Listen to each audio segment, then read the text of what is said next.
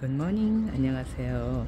네 오늘은 어, 구름이 너무 짙게 깔려 있어 가지고 해님이 영 나오질 못하고 있네요.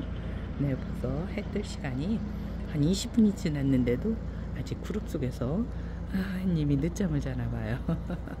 이렇게 한여름에는 이쪽에 골프 연습장에서 뜨다가 오늘은 이렇게 동력 하늘에 구름이 있어 가지고 이렇게 아, 햇님이 못 올라오고 있어요. 얼마만큼 왔을까요? 한번 가볼까요? 네. 아직도 못 나오고 있어요. 네. 이렇게 구름에 비친, 네. 비친 뒷 구름은 하얀색으로 보이고 앞구름은 짙어서 아주 진한 색으로 보이네요. 네. 아직도 햇님이 늦잠 자나 봐요. 네. 아직도 구름을 뚫고 못 올라오고 있네요. 벌써 해 뜨는 시간이 30분이 지났는데도 아직도 못 올라오고 있어요. 어우, 검은 구름은 무슨 동물이 입을 벌리고 있는 것 같아요.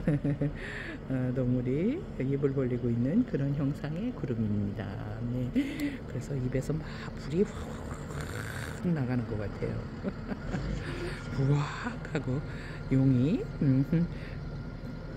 음, 품은 애들 그러한 모습으로 지금 음, 검구름은 형상을 하고 있습니다.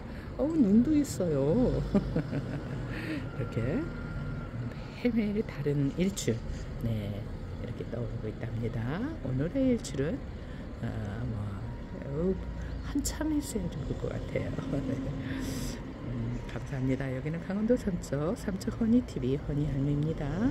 네 오늘도 일출을 사랑하고 자연을 사랑하는 자연전도사 일출전도사 오늘의 일출을 인사드리고 저는 수요일 금요일 아침에 실박을 합니다.